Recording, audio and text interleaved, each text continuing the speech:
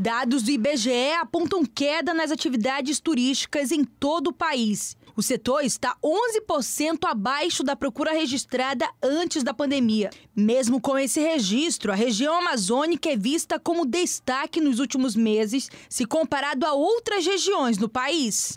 O indicador de atividades é calculado a partir das áreas ligadas ao setor de turismo, como hotéis, transporte aéreo e hidroviário, agências de viagens e restaurantes. A maior queda em fevereiro foi no transporte aéreo, menos 9,1%. Que a pesquisa analisa os recortes ligados a turismo.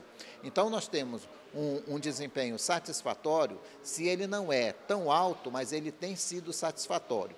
Já nas atividades de venda de passagens, o que nós observamos é que houve crescimento em dois, é, em dois meses e nós tivemos queda em apenas um mês. Mas o saldo das vendas de passagens a nível Brasil está muito bom. Apesar da queda no primeiro bimestre, para a Amazonas Tour, em 2022 o turismo deve continuar em crescimento. Essa pesquisa aponta um crescimento exponencial de 21 para 22, especificamente no último quadrimestre de 21, já apontava um crescimento de, por exemplo, 45% no faturamento do prestador de serviço.